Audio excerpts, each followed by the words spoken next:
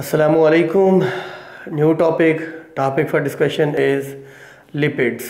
What are the lipids? Lipids क्या हैं? Lipids are heterogeneous group of compounds. Heterogeneous group of compounds. The word hetero means different and genus mean type.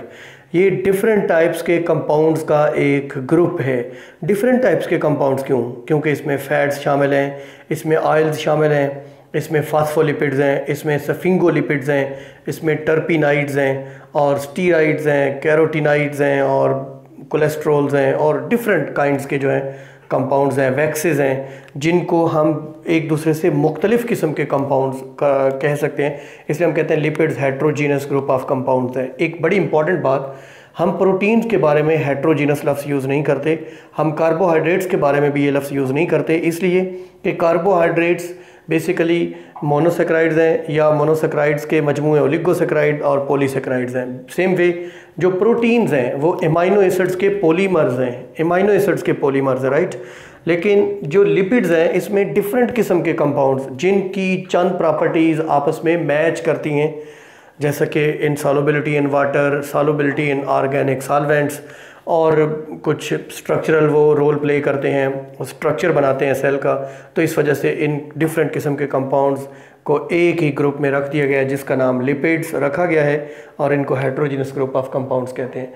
These are insoluble in water and soluble in organic solvents solubility का rule है like dissolve like तो ये non polar substances हैं, इसलिए ये non polar solvents जैसा कि organic solvents उनमें डिज़ाल्व होंगे, और ये पोलर सॉल्वेंट जो कि यूनिवर्सल सॉल्वेंट है वाटर उसमें डिज़ाल्व नहीं होंगे।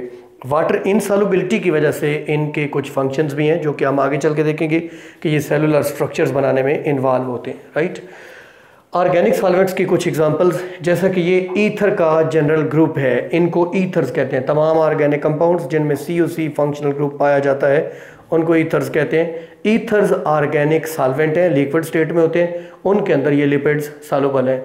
Benzene C six H six this is also an organic solvent इसी तरीके से chloroform C H C L three ये भी एक ऑर्गेनिक सॉल्वेंट है ऑर्गेनिक कंपाउंड है और लिक्विड स्टेट में होता है। अल्कोहल्स जिनमें ओ एच ग्रुप पाया जाता है वो ऑर्गेनिक कंपाउंड्स जिनमें अल्काइल ग्रुप के साथ हाइड्रोक्सल ग्रुप होता है उनको अल्कोहल्स कहते हैं। तो ये भी ऑर्गेनिक सॉल्वेंट्स हैं। ऑर्गेनिक सॉल्वेंट्स की डिफरेंट एग्जांपल्स हम देखेंगे लिपिड्स की डिफरेंट एग्जांपल्स फैट्स लिपिड्स हैं जो रूम टेम्परेचर पर सॉलिड होते हैं जि, जिनका सोर्स एनिमल है। For example the the ghee और और other fats which we can obtain from the animals oils oils room temperature पर लिक्विड होते हैं और ये इनमें डबल बॉन्ड्स होते हैं, इनमें सिंगल बॉन्ड्स होते हैं। ऑयल्स जो हैं, इनका सोर्स प्लांट है, जैसे मस्टर्ड ऑयल है लिंसीड ऑयल है ओलिव ऑयल है, वगैरह वगैरह। वैक्सेस वैक्सेस जैसा कि जैसा कि एक्जोस्केलेटन ऑफ़ इंसेक्ट्स जो है, वो वैक्स का बना हुआ है। तो ये वैक्सेस जो है, ये भी लिपिड्स में आते हैं। फास्फोलिपिड्स जो कि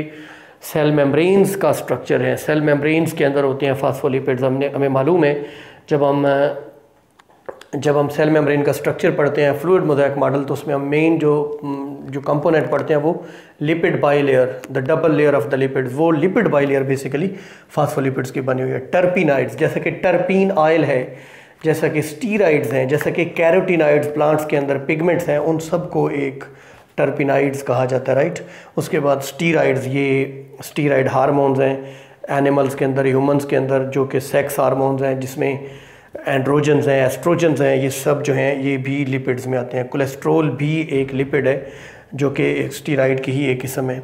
लिपिड्स जो होते हैं, ये हाइड्रोफोबिक कंपाउंड हैं। Hydro mean water, phobic, repellent, hating ये वाटर हीटिंग कंपाउंड्स हैं, ये वाटर रिपेलिंग कंपाउंड्स हैं।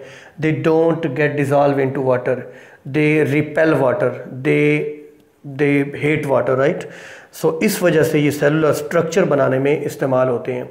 They are hydrophobic in nature.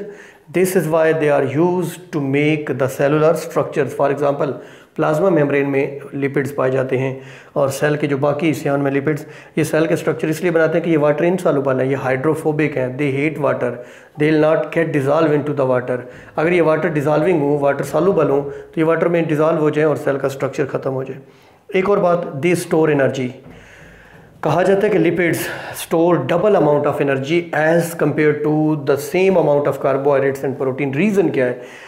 Lipids के अंदर हम आगे चल के देखेंगे, कार्बन हाइड्रोजन बॉन्ड्स की मकदार ज़्यादा होती है। कार्बन हाइड्रोजन बॉन्ड्स की मकदार बहुत ज़्यादा होती है, इस वजह से ये एनर्जी स्टोर करते हैं। ये हीट इंसुलेटर होते हैं। ये हीट को इंसुलेट करते हैं। हमारी स्किन के नीचे लिपिड्स की एक लेयर होती है, जो कि हीट इंसुलेटर का काम करती है। हमारी बॉडी हीट को डिसिपेट या वेस्ट नहीं होने देती। ये वाटर प्रूफ मटीरियल्स बनाते हैं। ये बड़ा इंपॉर्टेंट पॉइंट है। वैक्सेस जैसे एक्जोस्केलेटन ऑफ़ इंसेक्ट्स इंसेक्ट्स के एक्जोस्केलेटन वैक्स के बने होते हैं। वो वाटर प्रूफ मटीरियल है। क्यूटन की बनी हुई एक क्यूटिकल लेयर होती है at the upper surface of the leaves जो कि उनको वाटर प्रूफ बनाती है। अपर सरफेस से ट्रांसपायरेशन नहीं होती एवेपोरेशन नहीं होती। वो वाटर प्रूफ क्यूटिकल लेयर बना देती है।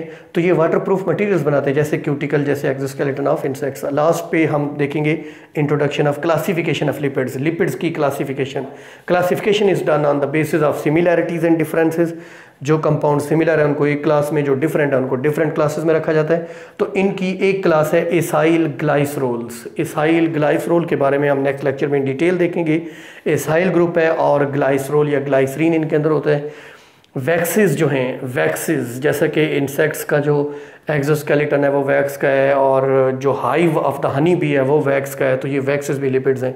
फॉस्फोलिपिड्स जिनके बारे में पहले मैंने बताया कि सेल मेम्ब्रेन्स का स्ट्रक्चर है इनको भी हम इन डिटेल देखेंगे। इनको फास्फोलिपिड्स क्यों कहते हैं? इनमें फास्फेट ग्रुप होता है, और सफिंगोलिपिड्स ये भी फास्फोलिपिड्स की तरह ही हैं। इनमें एक हेड है जो कि पोलर है, और एक दो टेल्स हैं जो कि जो कि नॉन पोलर है फास्फोलिपिड्स की तरह ही।